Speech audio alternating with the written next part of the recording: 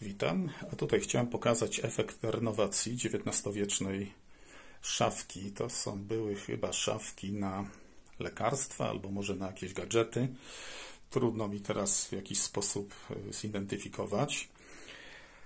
Szkoda w ogóle, że zdjęć przed nie zrobiłem, ale generalnie to była szafka barwiona na taki ciemny, depresyjny kolor, brunat kaselski on się nazywał. Poobijana cała, była robiona częściowo z dębiny, częściowo z e, buka, chyba to jakiś po prostu, żeby tańszy to był mebel, ale okucia były na bogato zrobione. I ona przyjechała generalnie do mnie yy, pomalowana yy, na jeszcze ciemniejszy kolor, bo to gdzieś na aukcji zostało kup- zakupione i pomalowana cała lakierem. Ja to wszystko musiałem pozdzierać, pod spodem były obicia, no 120 lat swoje robi, ponad.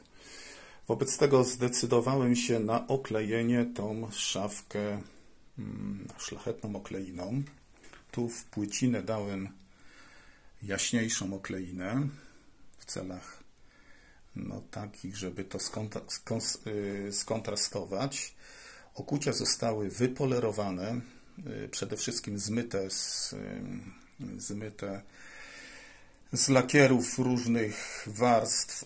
Było. Nie było również zamka, wobec tego klucz, klucz i zamek został zamontowany. Nie można było z zamka dostać takiego oryginalnego, wobec tego też taki stylizowany na antyk. Pięknie się zamyka. Boki. Boki także zostały wyklejone pięknym czeczotem. To wszystko jest w politurze, to nie jest lakier, to jest ręcznie kładziona politura.